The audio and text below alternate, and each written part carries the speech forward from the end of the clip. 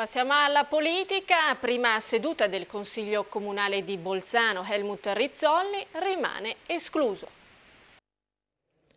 Colpo di scena nella prima seduta del Consiglio Comunale Bolzanino, Helmut Rizzoli non entra in Consiglio. I consiglieri hanno decretato la sua non eleggibilità. Sull'esponente della SVP pendeva il dubbio di ineleggibilità per non essersi dimesso da presidente della Fondazione Castelli prima delle elezioni. Rizzoli avrebbe avuto bisogno di 24 voti a favore per ottenere la convalida ed invece ne ha ottenuti 23.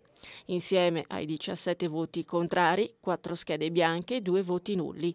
Decisivo il voto di alcuni franchi tiratori tra SVP, PD e gruppo di maggioranza. Per Helmut Rizzoli dunque niente consiglio comunale. Al suo posto subentrerà Silvia Hofer prima dei non eletti.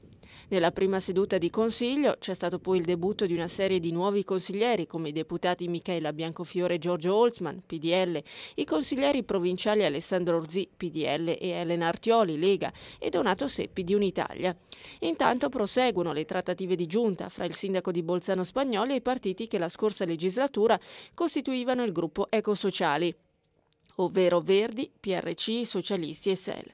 Questi ultimi hanno consegnato una lettera al primo cittadino esprimendo la contrarietà alla chiamata di un assessore esterno.